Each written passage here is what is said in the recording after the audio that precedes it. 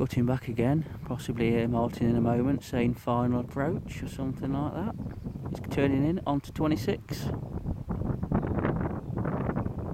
comes Dave.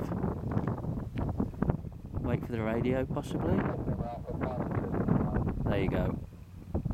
Right on cue. Touch and go.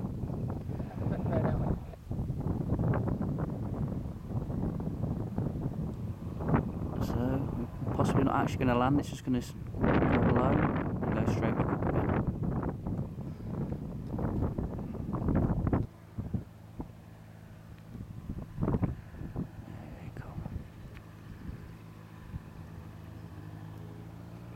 Go on, Dave.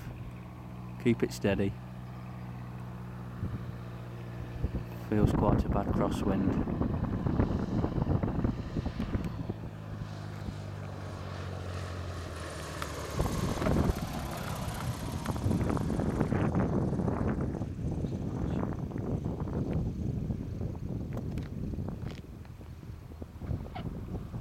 Touchdown, and we're going back up again, straight back up.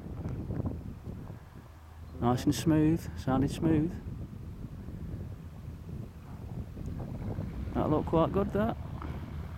But I don't know anything about that, so I wouldn't know.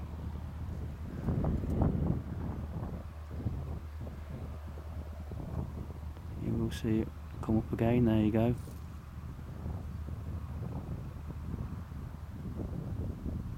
And away again for another circuit. You can see the wind battling against the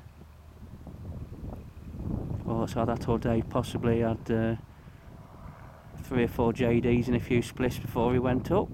So I don't know if that's that or that's the wind, I'm not sure.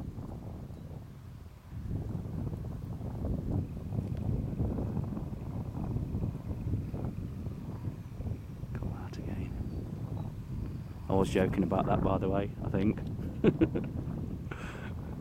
At least Martin's there anyway. He's